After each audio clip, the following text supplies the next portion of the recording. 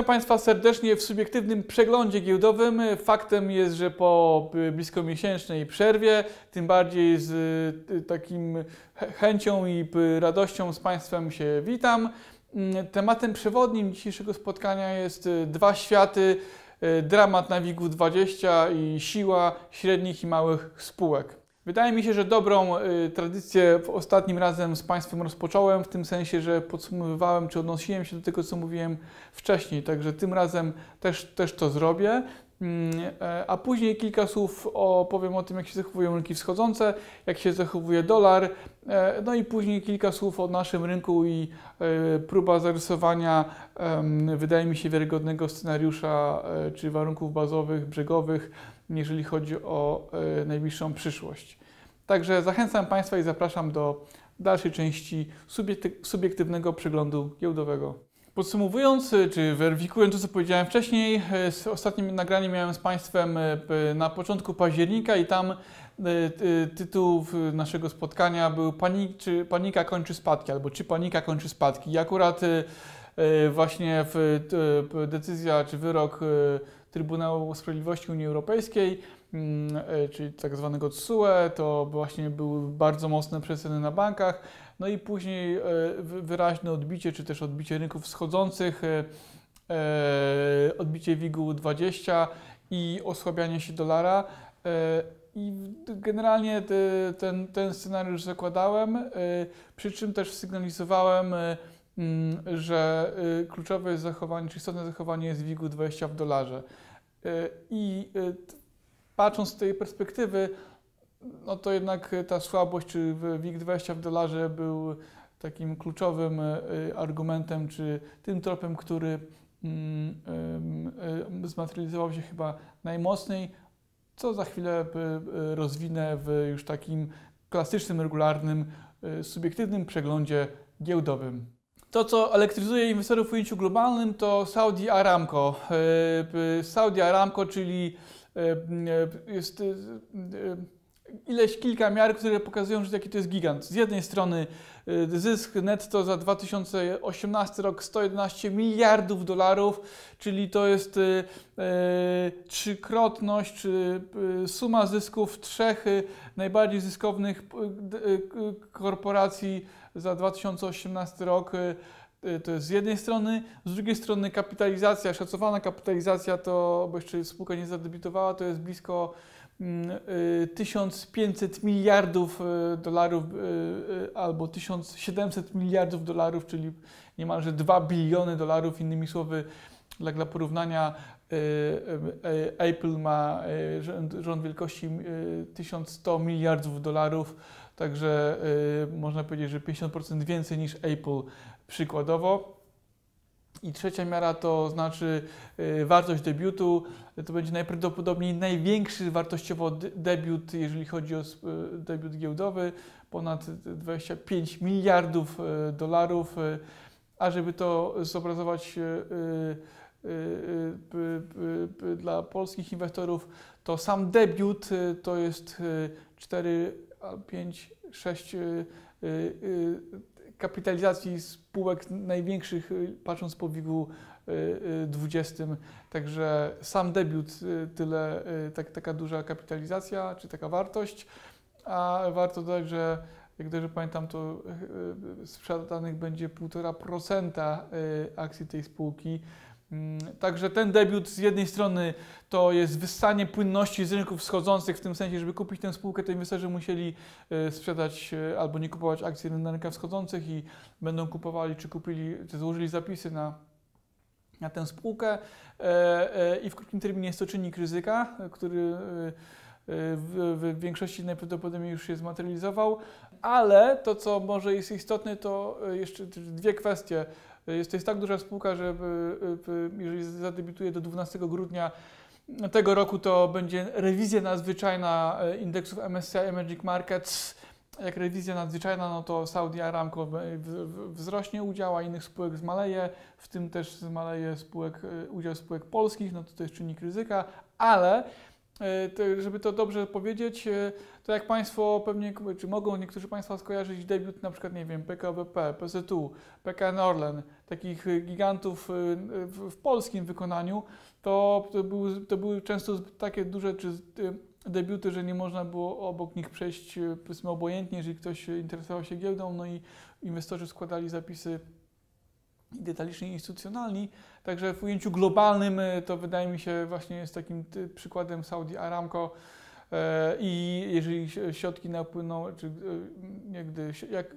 w momencie, kiedy środki napłyną na ten, do Saudi Aramco, czy też właśnie inwestorzy przypomną sobie rynkach wschodzących, to może być taki trigger, argument odświeżający sentyment do rynków wschodzących i być może to będzie taki w ujęciu globalnym argument do jakimś stopniu powrotu y, inwestorów y, mm, y, do rynków wschodzących, w tym też może do WIG-20 czy też polskich spółek. Przy czym to, co jest, przepraszam, może taki długi wstęp, po rajdzie z początku października do połowy listopada właśnie rynki wschodzące zachowały się mocno, ale właśnie relatywnie nagły, czy informacje o debiucie Saudi Aramco spowodowały, że rynki wschodzące zaczęły zachowywać się słabo. No niestety dynamiczne spadki, ale y, wydaje się, że one się wyczerpują i jeżeli ten debiut nastąpi do 12 grudnia, to y, rewizja nadzwyczajna będzie nastąpi 20, 17 y, grudnia. Jeżeli później, po 12 grudnia będzie debiut, to rewizja nastąpi y, po 5 stycznia. I wydaje mi się, że to są właśnie takie graniczne daty, po, po których można oczekiwać poprawy albo co najmniej stabilizacji po ostatnich słabych sesjach. I to jest mój scenariusz bazowy na na drugą część e, grudnia, a być może też i na początek e, stycznia. No ale tu trzeba, te, te, niestety ten rynek jest taki, że trzeba dość szybko czy na bieżąco reagować. E, ponieważ zmiennych jest dużo i tu w ujęciu globalnym, jak i lokalnym, to ja tylko niektóre z nich staram się zaakcentować i czasami, jeżeli mam wiedzę albo przeczucie czy intuicję, to staram się Państwu ten, ten temat przybliżyć. I wydaje mi się, że takim termometrem czy barometrem y, y, globalnych sentymentów y, no to jest zachowanie dolara czy indeksu dolara. Ja akurat mam możliwości, patrzę na DXY, indeks dolara do innych walut rynków, rynków rozwiniętych, głównie do euro, ale nie tylko. I ten indeks pokazuje, że z jednej strony poziom 100 punktów nie został przebity, czyli e, powiedzmy taka prymat czy dominacja dolara wydaje się, że jest e, no, co najmniej zanegowany, zanegowana, a z drugiej strony dolar zaczyna się osłabiać. Być może to jest efekt obniżek stóp procentowych, a być może efekt tego, że dane z Europy, jak na przykład PMI przemysłu z Niemiec szuruje pod nie, ale podnosi się, czy indeks y, zaufania w Europie też z niskich poziomów czy bardzo niskich poziomów się podnosi. I to może powodować, że te aktywa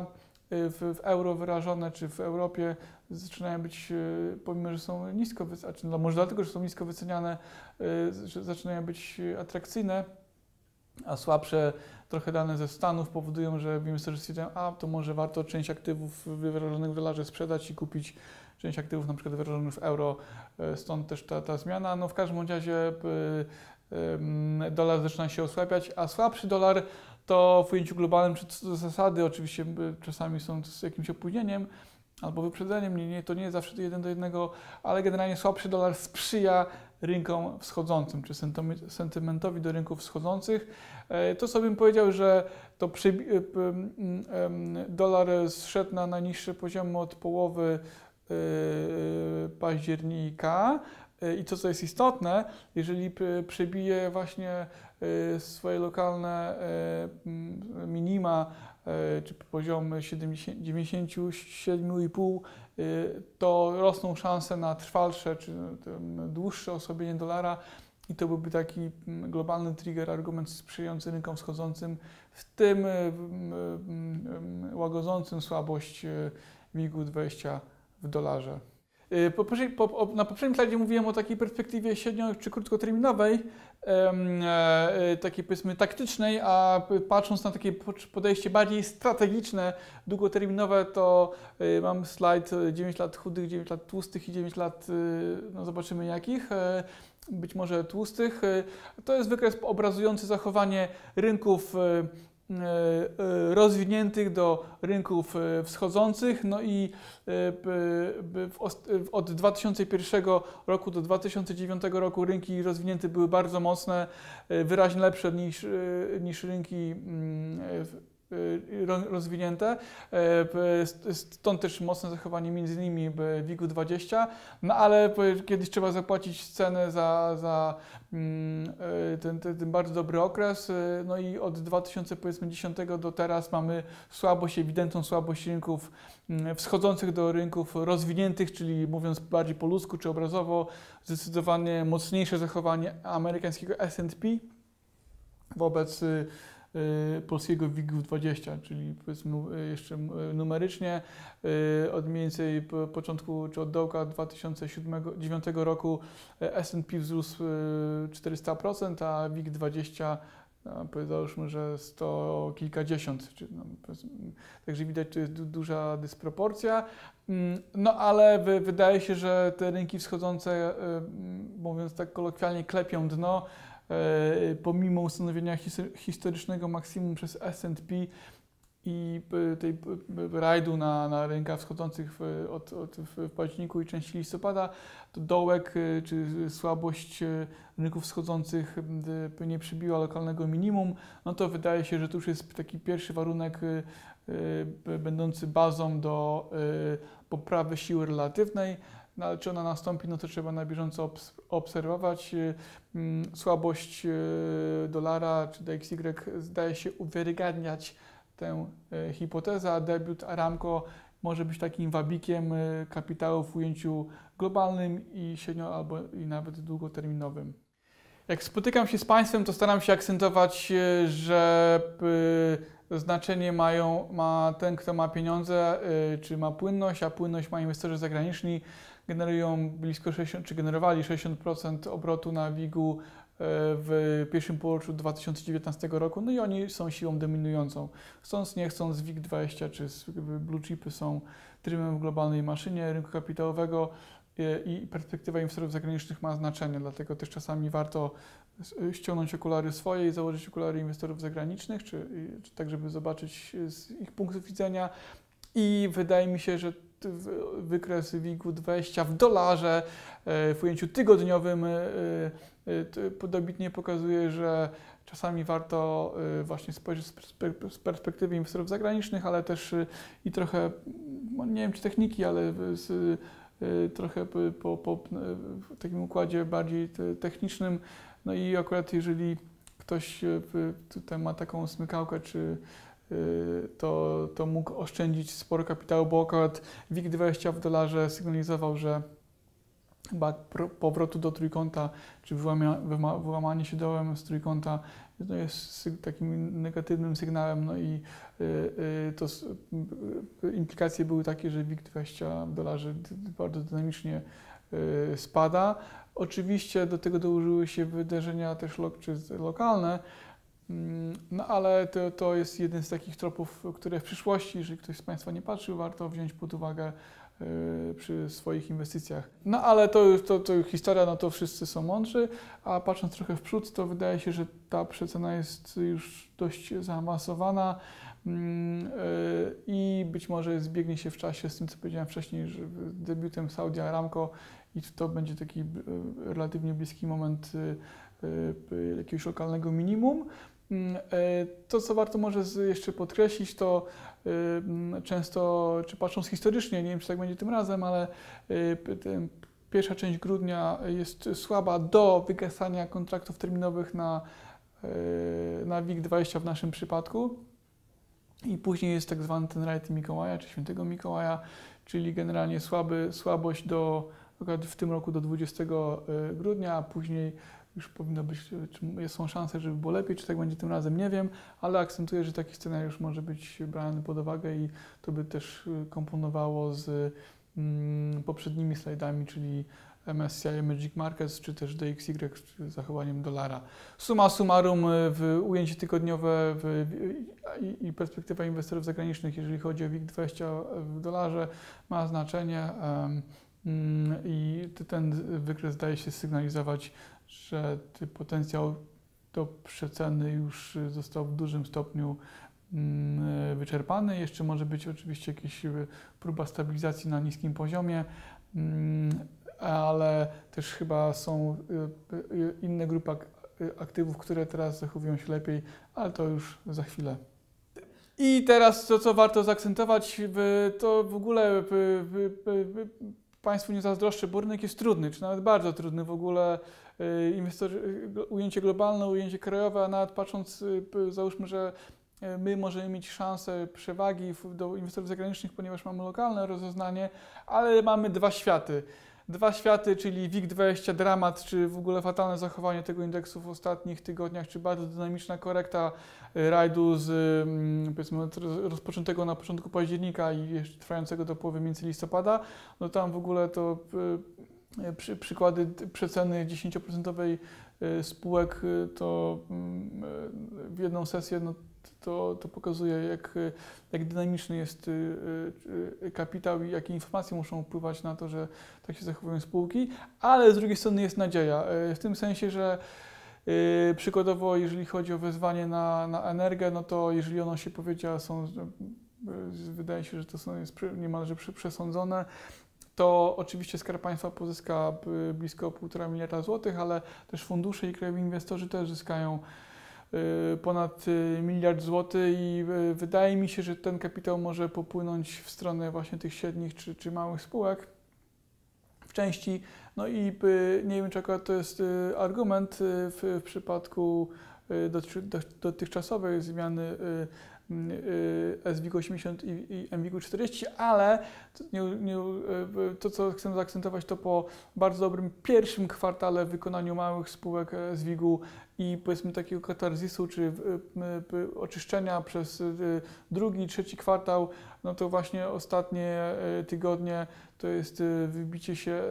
SWIG-80 i mm, nowe lokalne wysokie poziomy, a być może to z tego wynika, że po prostu przewaga y, y, wezwań, nad, y, wezwań do sprzedaży akcji nad debitami jest gigantyczna, no bo 33, jeżeli dobrze teraz liczę, wobec kilku debiutów, z tym jeden taki czysty nie przez przejście z New Connect na, na, na giełdę. Jeden, jeden debiut do 33, no to pokazuje, że jeżeli ktoś ma dużo pieniędzy, kilkaset milionów albo i więcej, no to uważa, że ceny są niskie, dlatego to są też są ogłoszone wezwania. E, no i być może powoli zaczyna to być uwzględniane w wycenach e, średnich i małych spółek, a być może końcówka roku powoduje, że niektórzy inwestorzy stwierdzają, że tutaj jednak e, te spółki, ich wartość godziwa jest na innym poziomie niż do tej pory rynek wycenia. Suma summarum, słabe czy fatalne zachowanie WIG-u 20, no i tu sól polskiej giełdy, czyli średnie i małe spółki ostatnio zaskakują impuls i wydaje mi się, że to może być e, trwalsza tendencja z mniejszymi czynnikami ryzyka niż w przypadku e, aktualnie WIG-u 20. Podsumowując, e, trochę cytując może klasyka, najpierw musi być trochę gorzej, żeby było trochę lepiej, czyli mm, oczywiście jest 9 lat słabych, jeżeli chodzi o relatywną siłę czy zachowanie rynków wschodzących do rynków rozwijających, rozwi rozwiniętych, ale z drugiej strony no, ten też debiut Aramco, y, czy rychły debiut Aramco powoduje, że słabsze trochę zachowanie mm, y, y, rynków wschodzących, ale wydaje mi się, że to może być taki argument, trigger do, do zmiany sentymentu do rynków wschodzących w dłuższym terminie, mm, a w krótszym terminie ta może być też takim końcem słabości zachowania spółek y, y, oil and gas, y, ropy naftowej i, i gazu. Mm, e, mm, I e, też e, to takie może być wsparcie płynnościowe w trochę dłuższym horyzoncie. Jednakże, też to, to trzeba zaakcentować, moim zdaniem, to y, y, końcówka roku może powodować, że po, y, powiedzmy w drugiej połowie grudnia, być może po 20 grudnia zachowanie niektórych spółek, czy tych małych i średnich spółek będzie, będzie lepsze. Y, A niskie wyceny, patrząc po cenie do wartości księgowej, duża liczba wezwań, mało debiutów, oczyszczający się czy słabnący sentyment inwestorów in- indywidualnych, no to są argumenty, które zdają się sprzyjać długoterminowym stopom zwrotu. Oczywiście y, y, y, podsumowując trochę 2019 rok było trochę miałem kilka lepszych wyczuć rynku, kilka słabszych, no ale tutaj walczymy z zespołem o, o pierwsze miejsce w parkiecie, także czas pokaże, czy skutecznie, czy nie. No ale wydaje się, że raczej lepsza niż gorsza skuteczność na wymagającym rynku zwiększa szanse y, na to, że Państwo nas posłuchają, a być może będą Państwo z nami trochę dłużej niż tylko przez nagranie. Y, y, Korzystając z okazji, pewnie zobaczymy się w, w nowym roku. Y, Życzę udanych inwestycji, wyciągnięcia wniosków z, z porażek, bo one y, się zdarzają y, nawet y, mi, czy przede wszystkim mi, bo jeżeli sukces zespołu to jest sukces zespołu, jeżeli porażka zespołu to moja porażka, także y, y, y, klient ma zawsze rację. Y, Także tym optymistycznym, optymistycznym akcentem dziękuję Państwu, życzę udanego 2020 roku e, e, i z miłą chęcią bym usłyszał, czy przeczytał od Państwa informację zwrotną, czy to by była ona pozytywna, czy negatywna. E, e, Na pewno taka, która w dłuższym terminie by sprzyjała nagraniom i stopom zwrotu. Dziękuję.